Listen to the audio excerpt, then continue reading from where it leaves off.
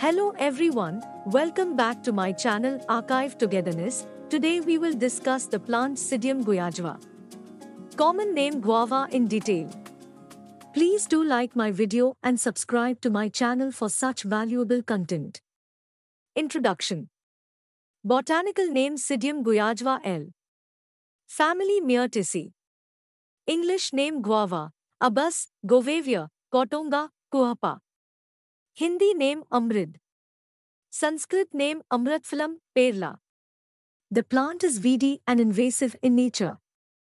Type of plant perennial. Native range, geographic distribution.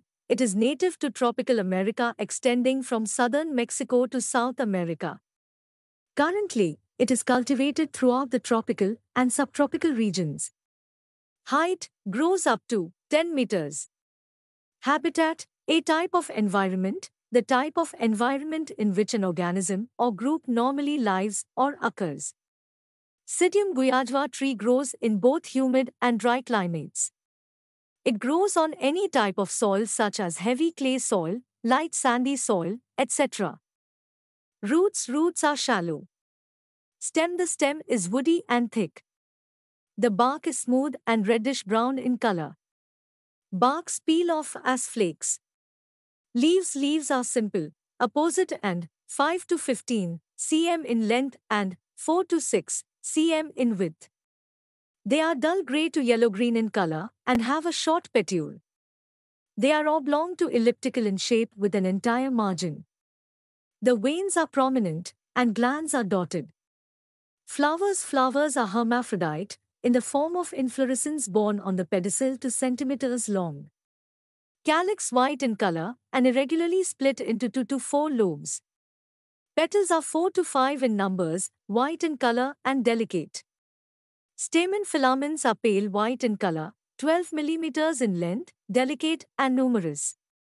The ovary is inferior with numerous ovules. Stigma is green in color and capitate.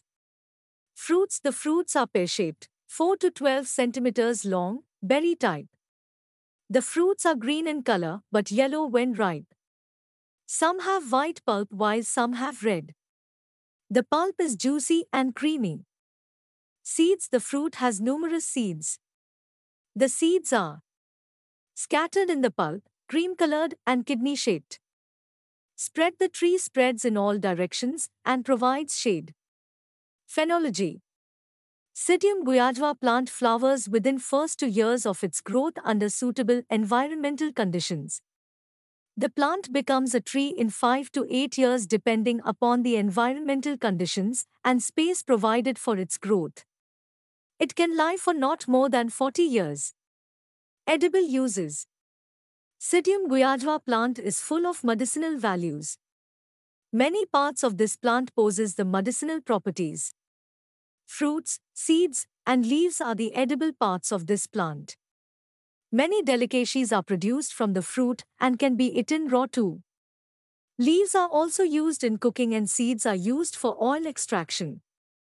Edible parts Leaves Fruits Seeds 1. Diarrhea The leaves decoction of guava one fistful of leaves boiled in 100 milliliters of water till it reduced to 25 milliliters can be given twice daily in diarrhea.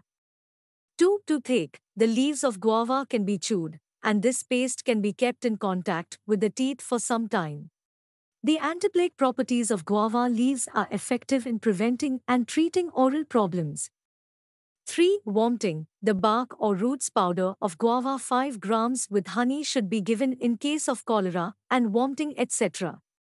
4. Mouth ulcers. Guava leaves decoction can be used externally for rectal prolapse in children and used as gargling for chronic ulcers and mouth ulcers. 5. Constipation. Guava fruit is nutritious as well as a good laxative. This fruit is good for diabetes also. 6. Leucorrhea. Decoction of guava leaves is used as a vaginal and uterine wash, especially in leucorrhea. Thank you so much for watching my video. Please hit the like button and subscribe to my YouTube channel. Thank you.